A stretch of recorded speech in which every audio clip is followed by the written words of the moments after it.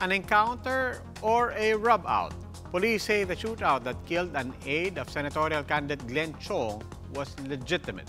Chong says it may be related to allegations he had made about election fraud. Malu Echeverria has the story. The Calabarzon police chief stands by his men that the encounter that killed the aide of senatorial candidate and former Biliran representative Glenn Chong was legitimate. Police Chief Superintendent Edward Carranza believes his men were just doing their job since the aide who was identified later as Richard Santillan was armed and traded shots with the police when he tried to ignore a checkpoint while driving an SUV early Monday morning in Cainta, Rizal. We check kung ano ang uh, sino on board and uh, nung pinaplag down na uh, tumuloy-tuloy siya sa kanyang pagtakbo hanggang sa magkaroon na ng exchange of gunfire. Pagtigil nila, nagbabaan ng mga nakasakay at uh, doon nagkaputukan na. Aside from Santillan, his companion was also killed, while three sachets of illegal drugs and two firearms were reportedly recovered on site. My the provincial director briefed me, the intelligence officer briefed me mm-hmm. na itong sasakyan na to was uh, reportedly being used mm-hmm. in the transportation of drugs. Mm-hmm. Actually, yung isang sa mga napatay dito, itong si Jessamine Generales, mm-hmm. eh meron tayong mga kompletong dokumento rito mm-hmm.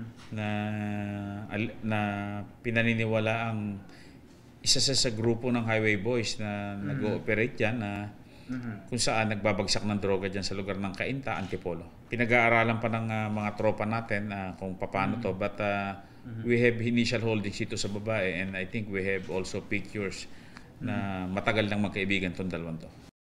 But Attorney Chong insists that Santillan couldn't be part of the Highway Boys who are said to be behind illegal activities in Cainta and Pasig kinidnap yung ano ko, kinidnap yung tao ko, si Richard Santillan.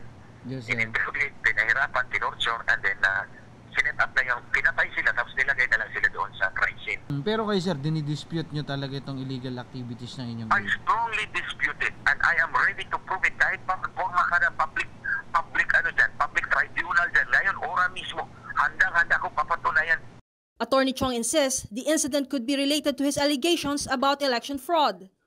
The only other remaining uh, possible possible suspects would be ang Smartmatic at ang Comelec, but more of Smartmatic and mga kandidato, politiko, kandidato na gustong gamitin ang makina para mandaya.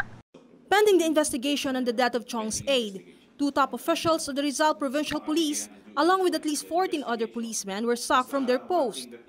This is a legitimate police operation. Mm.